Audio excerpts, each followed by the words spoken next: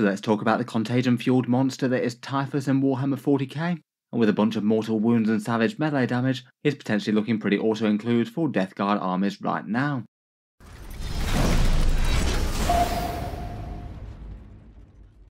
Hello and welcome back to Auspex Tactics, where today I thought we'd do a focus review on one of the mightiest Death Guard commanders around and take a look over the rules for Typhus and just what he brings to the table. In the video we'll talk briefly about his miniature then go over this datasheet bit by bit and a few different ways that you could field this plague fueled monster in game. As you could probably guess by the thumbnail, I do think that he's looking rather good for the armies of the Death Guard before, pretty viable at 100 points, and now he dropped all the way down to 80. It feels like a deal that's almost too good to pass up. In the lore, Typhus is the lord of the first plague company known as the Harbingers, being a high ranking space marine within the Legion since the days of the Horus Heresy originally known as Typhon, but when the Legion fell to Nurgle, he became the host of the Destroyer Hive, and now commands one of the mightiest fleets of Death Guard from his flagship, the Terminus Est, particularly notable for spreading the shamble rot plague of walking corpse poxwalkers far and wide, much to the detriment of the Imperium. In combat, he's a mighty lord wielding a Man Reaper, has terrifying plague psychic abilities, and is a dour and capable commander, skilled at crushing the enemy in a battle of attrition. For his model within Warhammer 40k is currently £27, 35 euros or $45, a fairly mighty and busy sculpt as befits the first Lord of the Death Guard. I do remember when the miniature was replaced from the old sculpt that you can see on the top right here, which I think as it goes was one of the better classic sculpts, a bit more of a brooding and malign sort of look. Definitely a contrast with the maybe slightly more exuberant and finer details of the Death Guard at the moment. His destroyer hive on the new model is represented by a whole bunch of flies. He's got a fair few other Nurglish familiars lurking here and there over him. He's a miniature that quite a lot of Death Guard players might have, given that he comes in the Combat Patrol, kind of unusual in a named character dropping in one of those. The slightly odd one that's alongside 30 Poxwalkers, though I guess it's appropriate enough for his lore spreading the plague to the mortals. As ever, if you were looking to pick up Typhus or any other Warhammer 40k miniatures, there's plenty of places around the world that sell things a little bit cheaper than Games Workshop. Feel free to check out any of these linked in the video description for some money off, and anything bought them does help to support Auspex Tactics a little bit. Jumping into Typhus's datasheet and rules in 40k though, as mentioned in the latest version of the Balanced Data Slate, he was maybe one of the biggest winners out of the Death Guard army, dropping down from 100 points, where I thought he was already fairly playable, all the way down to 80 and point for point I'd argue that perhaps lands him as being one of the very best damage dealers in the entire index.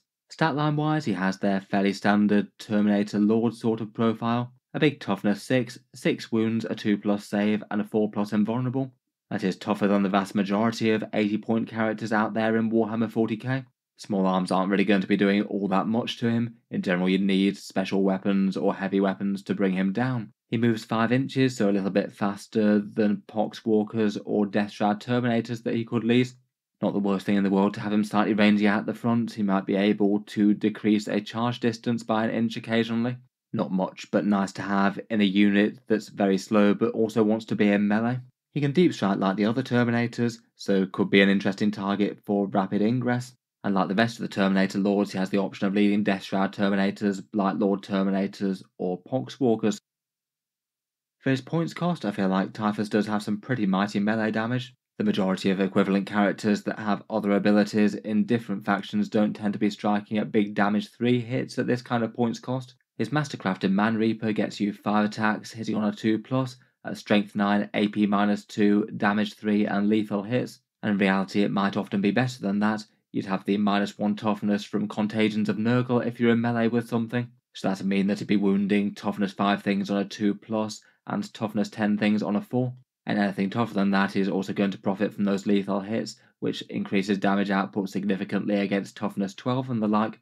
He also gets a fairly punchy anti-horde mode as well, 10 attacks at strength 6, AP 1 and damage 1, so he's definitely not going to get bogged down too much by lighter infantry. Between all that, it just makes him a fairly good threat against almost everything in the game. His average damage output kills around 6 guardsmen, 2 or 3 Space Marine intercessors, 1 or 2 terminators, about 5 wounds on average to a toughness 10 3 plus save vehicle, or 3 wounds on average to a Land Raider. It's not quite make back your points in one single round of combat, but it's really not too far off. That's at least fairly impressive that he is pretty much equally effective against just about anything that you throw him into. Quite general purpose close combat there. Otherwise, for his buffing rules, he gives his unit a minus one to hit in melee that he only gets if he's leading a unit, so he doesn't get it if it's just him dropping solo or anything. Still, though, that's quite a nice boost to have from the Destroyer Hive. Means that if the enemies are trying to assail your Death Shroud in close combat, they won't be quite as easy to take out as they otherwise would be. And he is going to be a unit that's kind of likely to wind up in combat, seeing as he's going to be seeking it out himself. His really fairly godly special rule, though, that I think puts him over the edge compared with most other characters out there, is the Eater Plague. I'd argue this is the single nicest bit out of his entire datasheet, if anything. In the shooting phase, he gets to target one enemy unit within 18 inches for his Psyche attack.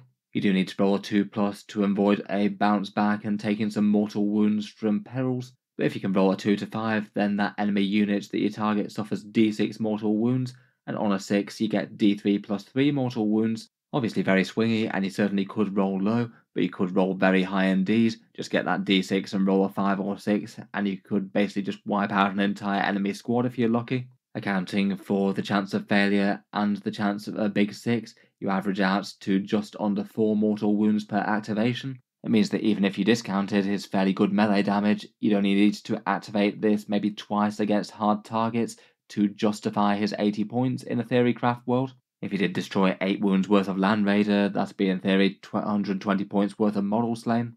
And destroying 2 or 3 Terminators would also be well worth his 80 points.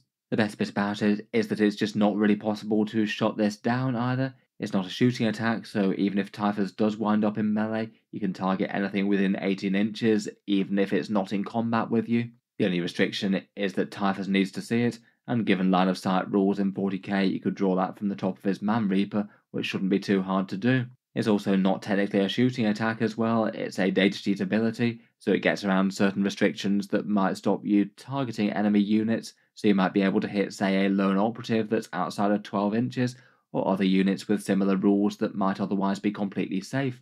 And then, just as a bonus, if Typhus does go and walk with the zombies, if he happens to be within a unit of poxwalkers, then any casualties caused by this gets to restore models to his unit, so contributes to adding a little bit of chaff hordes back to the table, as well as destroying enemies pretty efficiently. If you can basically keep Typhus alive and shooting this and swinging in melee for a couple of turns, then unless it's just completely screened out of anything meaningful to get his damage into, it does look like you're in for a rather good time. Overall, basically for his datasheet, he does have really quite strong melee damage for 80 points with a bunch of damage 3 attacks. He's got very nicely strong range damage for 80 points with the mortal wounds just going through anything fairly evenly. If he gets any one turn to shoot and fight, he's got a very good chance of justifying his points cost then and there, never mind if he goes on to do other things or soak up a bunch of enemy fire in the next turn. At least for a character point of view, he's really not bad durability either, though a lot of the time he might well be hidden in a squad and protected from direct damage at least initially. Overall, I just feel like he's loads and loads of value. For ways to field him, perhaps the single most obvious feels like the Death Shroud Terminators. I'd likely be tempted by a unit of three of them as opposed to a unit of six. That'd get you a 200 point squad alongside Typhus. I feel like for that cost, you've already got enough melee damage that you handle most normal sized threats in the game then and there. I feel like you probably have more value in taking more units of individual Death Shroud rather than building out the squad to six. For what they add, though, they give you another 9 wounds of Terminator, so make them a lot more tanky. While they have a character attached, they're minus 1 to wound against anything that's greater strength than their toughness, so they are extra hard to kill with the weapons that are usually quite efficient against them. They contribute to firepower a little bit with Plaguespurt Gauntlets, but most importantly, they have a big 12 attacks at Strength 8, AP 2, and Damage 2, with lethal hits with their own Man Reapers. I feel like Typhus complements that quite nicely by being able to wound toughness 10 on a 4 plus and also contributing some damage 3. Between their attacks and Typhus's, most units in the game would have to fear that combo. Overall, just between the two, you have a very scary melee threat that isn't exactly a pushover durability wise either. I'd probably think about ideally rapid ingressing them to get around their short movement Look out for a place where you can drop them somewhere safe behind terrain and then move to get a short charge on the enemy, maybe budgeting a command point reroll to make sure they get there. I feel like for a 200 point formation, it'd be really hard to go wrong with this squad in just about any Death Guard list. Just two very efficient units, enormous melee threat, and a bonus attack of flurries of mortal wounds. there's not a lot not to like. At the moment, I would be far more likely to go for Death Shroud than Blight Lords. I just feel like the Blight Lords are badly balanced at the moment, given that they just have so much less melee damage output. Getting extra Terminators is sort of a bit of a side grade compared with that minus 1 to wound rule as well. I feel like for the points cost, Death Shroud are the way to go. Otherwise, though, Typhus definitely feels like he has options. You could put him into a big squad of 20 Pox Walkers, that'd be 100 points for 20 Chaff Bodies with their 5 plus Feel No Pain and he could just march them up the board to contest and take a midfield objective. He'd have really quite a lot of points of objective control given all the zombies, and Typhus could still use the Eater Plague attack even if he advances. Should be enough to soak a good amount of enemy small arms, and then hopefully Typhus would still have a pretty reasonable chance of living to get into combat and smashing people with the Eater Plague for multiple turns. Resurrecting some zombies if you manage to slay any infantry with the Eater Plague is always a positive as well. Finally, while putting him in units, I do think is probably the most sensible way to go. I've certainly seen a couple of people running him in competitive lists for 100 points and just using him completely solo.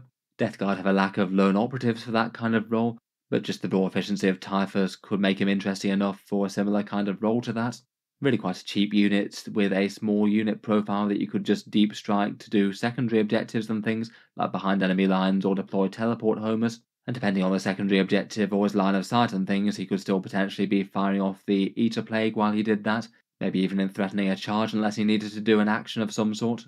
They could potentially just put him down in a really annoying position where the opponent can't focus heavy guns on him, and if you can only hit him with small arms, he's probably going to survive, and then be able to move and inflict damage next turn with the Eater Plague or maybe his Man Reaper to clear a squad of backfield objective holders. Might be a bit of a quirky use for him, but I think there's enough value there to make him worth it for that role if you wanted. He'd have to be against an enemy that didn't screen uh, awesomely well and didn't have the ability just to move and kill him dead though, and likely make some clever use of terrain. Overall, as you can probably tell, I feel like Typhus is a pretty awesome datasheet right now.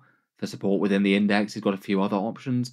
As mentioned, the Contagions of Nurgle for the minus 1 toughness and extra AP certainly take his melee to the next level. I didn't include the extra AP in that melee damage calculation earlier, but it certainly helps out against things like the Intercessors or the Land Raider. As mentioned, I quite like rapid ingress for him. Otherwise, for Death Guard specific stratagems, you've got access to sustained hits, extra AP in combat if that's needed as well. You could have him up to AP4 if you wanted, or AP5 on critical hits if all the stars align. And there's that 2 CP one for minus 1 damage when he's attacked in melee. Probably a bit pricey, but I guess in theory, between him and a Death Shroud Terminator unit, you could have a minus one to hit, a minus one to wound, and also minus one damage for enemies attacking you in melee. That'd be a lot of barriers there if combined with their raw profile. Probably a bit expensive though, really. Otherwise, you could potentially think about using a Death Guard Land Raider to deliver him plus a unit of 3 Death Shroud. I feel like that's not really the worst idea in the world. Certainly helps get around their slow movement, and it's not like it's a useless datasheet in itself. Could be one way to get things done if you didn't fancy teleporting or rapid ingressing. For direct competitors, probably the two most major ones are the Lord of Contagion and the Terminator Sorcerer for leading the Death Shroud Terminators. The Lord of Contagion does have similar sort of melee stats, and he does make a Death Shroud unit a bit more mighty in combat with the full rerolls to hit. Personally, I feel like the utility of the Eater Plague probably outweighs that a little bit, particularly given Typhus has some slightly boosted stats in himself but I feel like perhaps the two maybe aren't too far away from each other. The Sorcerer could also be another option for dropping in and doing a big punch of damage with its big damage 3 Curse of the Leper attack once per game. I feel like it's got a few positives and negatives versus the Eater Plague though, and it certainly does far less damage. Again, I'd probably rate Typhus as the stronger of the two. Overall though, I feel like it's pretty strong stuff. Just an all-round excellent and efficient datasheet for the Death Guard right now. I'd rate as one of the strongest in the index despite some very good competition out there. In any case, let me know your thoughts on the Lord of the First Plague Company. Look forward to hearing all your ideas down in the comments, and feel free to subscribe to Auspex Tactics if you'd like to see more like this. I do tend to post new 40k videos just about every day. Finally, if you have been enjoying all the videos on the channel, I would just like to mention that Auspex Tactics does have a Patreon page as well, and you can find that linked in the video description if you'd like to help support and keep these videos coming. Channel patrons do get a fair few advantages, seeing certain videos early, regular votes to see what sort of things happen next on the channel, and automatic entry into the regular prize giveaways with a chance to win some big model kits each month. If any of that sounds good to you, or you'd just like to help support, the link is down in the video description. In any case, a massive thank you for listening, and I'll hope to see you guys next time.